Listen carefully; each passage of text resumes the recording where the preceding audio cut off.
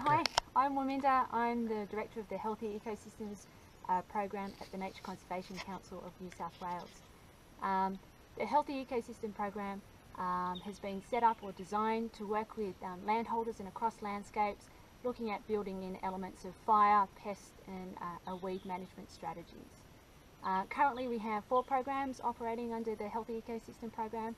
That includes the Hotspots Fire Project, the Bushfire Program, um, the Upper Coldstream project and the Fire Sticks project. Hi, I'm Oliver Costello. Um, I'm the Fire Sticks project coordinator. I'd just like to start by acknowledging country, paying my respects to elders past, present and future. I'm a Bundjalung man, I come from the Northern Rivers of New South Wales um, where the Fire Sticks project um, works. It also works up in the Tablelands as well, so it takes in a broad sort of environmental cultural landscape. Um, so the Fire Sticks project's um, intent is to support um, Aboriginal land managers and landowners to practice um, fire management based on their cultural values. So it's really about supporting cultural burning, you know, delivering on the objectives of um, culture and how they manage their landscape and being able to support um, best practice contemporary fire management. So being involved in sort of risk management planning and ecological um, restoration management the highlight of the work on the Fire Sticks project is being out on country with the rangers and seeing um, them empowered, seeing how they are being recognised for their knowledge, sharing their knowledge, passing on their knowledge within their own cultural framework with their peers, you know, like, you know, kids and young ones learning from uncles and aunties and but also with other other Aboriginal groups and non-Aboriginal people as well, just being able to see that, that the power of learning on country. Hey, I'm Silas Telford, Fire Sticks Operations Officer uh, for Jali and Minyumai and we're looking at ways of invigorating fire back into the cultural landscape.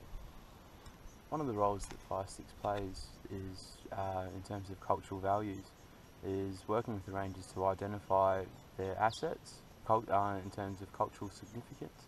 And we can look at ways of planning how we can protect those, whether it's a scar tree or midden, and look at ways uh, identifying major threats and also potential management issues, um, management practices that can be used to protect these assets.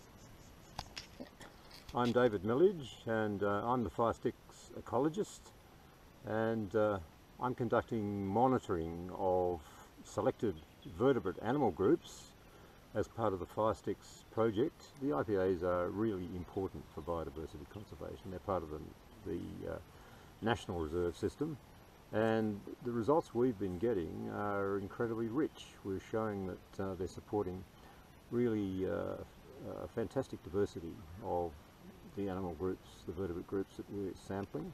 Very high numbers of uh, species and very high numbers of individuals amongst some of the, the vertebrate groups. So uh, we're really working in, in fabulously rich areas. We're working with uh, the indigenous rangers, of course, to see the uh, the enjoyment and um, the actual uh, uh, empowerment that they get from doing this work is really encouraging and uh, really, really, really satisfying.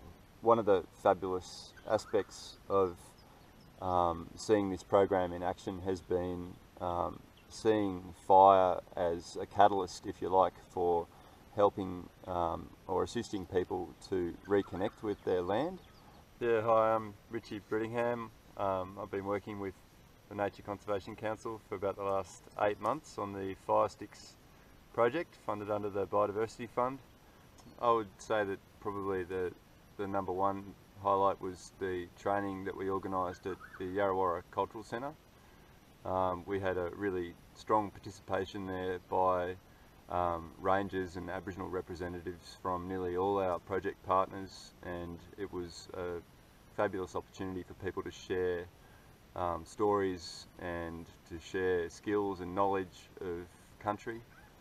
The Fire Sticks program is value adding and bringing in um, more opportunity and um, more expertise to, yeah, as I said, reconnect to the land and build skills and build confidence around using fire as a management tool to look after um, their cultural heritage values and um, the ecological values uh, on the land.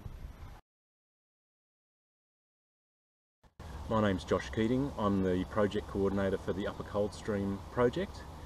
The Upper Coldstream is a nationally significant area of um, the north coast of New South Wales and we're working with 44 landholders to manage weeds, pest and fire issues across that landscape.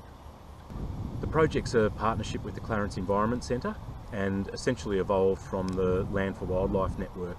So one of the big threats that we're dealing with is, is weeds and in particular lantana and lantana suppresses native vegetation but it also stops um, a lot of wildlife um, being able to move freely across the landscape and one of the, the key species that we're dealing with is the, the coastal emu and being able to open up more areas for those emus to forage and um, more pathways for them to both move across the landscape and also escape from predators and, and issues such as um, wildfire um, is, is a great outcome.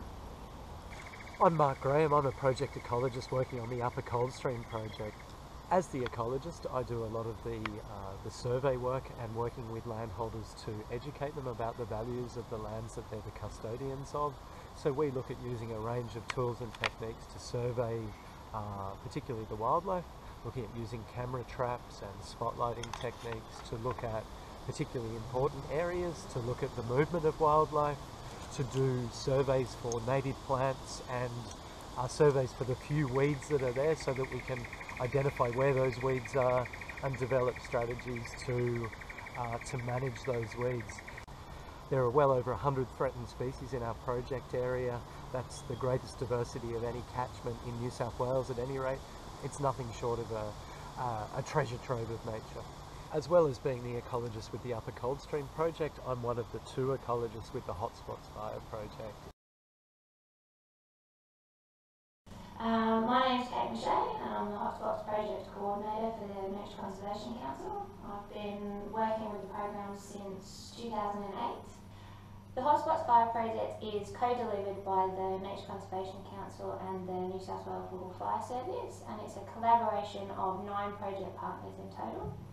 Um, Hotspots is about working with rural landholders to uh, implement sustainable fire management plans. So there's a, it's delivered over two workshops.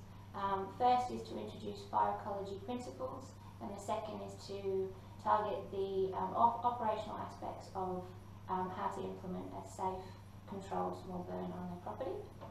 I'm Kevin Taylor, project ecologist with Hotspots. As the ecologist for the Hotspots Fire Project, I help select sites for the workshops and uh, prepare reports on the ecological values and the implications of fire and also help landholders prepare management plans at the workshops.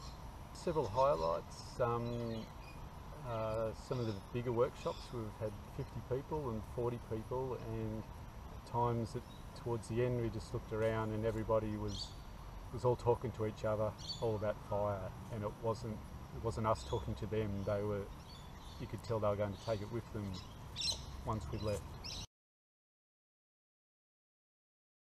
Uh, my name's Greg Banks. I'm with the Bushfire Program um, as part of the Healthy Ecosystems Program.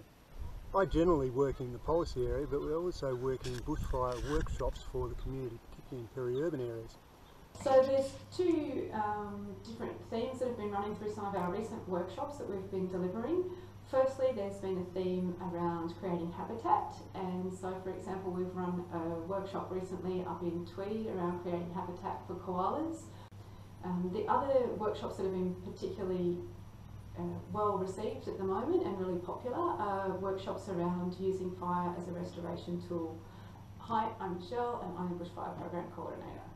I guess the thing for me is to see the level of community interest uh, in the work that we're doing. We put on events and programs for people and the level of interest that there just shows the amount of enthusiasm and that people are really interested to hear how they can, um, how they don't have to separate managing bushland for bushfire um, from actually having some ecological values at the same time. I think people are very interested in the fact that you can think about those two things together rather than needing to separate them.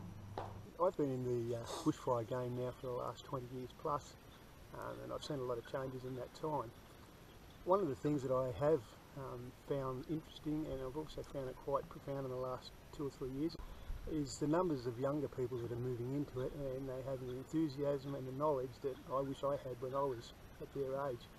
Um, it leaves me with a little bit of, of, of uh, hope that they will be able to take over where and do things that I perhaps haven't been able to achieve. Um, so NCC's been at the forefront of that. So there's a good there's a good story there for NCC. What we're trying to do is get people to reflect on how it feels to be on country, how it feels to learn and share um, on country with, with people, with plants, with animals, looking at you know the, the country as a holistic um, framework that we were a part of, and then how we can learn from that. It's just really wonderful to see the, the growth of the Healthy Ecosystems program through the commencement of a series of projects. Um, it's really lovely to be involved in them and to see projects uh, operating which have an opportunity to make healthy landscapes even healthier and more resilient and robust in the face of climate change and an awful lot of pressures that are arising from human impacts. And I think that's at the core of the Healthy Ecosystems program. It's to look where there are healthy uh, landscapes, healthy ecosystems and healthy communities and help them to remain as such or to make them even healthier because that's what we're going to have to do to hang on to our internationally significant biodiversity. If we don't do that, we face catastrophic decline.